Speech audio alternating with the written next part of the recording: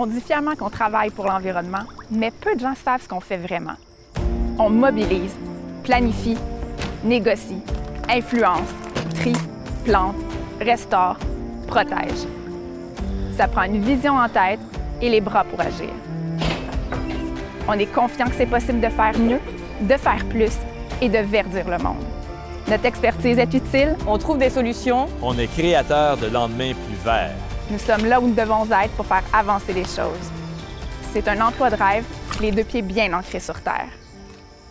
C'est notre façon d'être engagé pour la cause.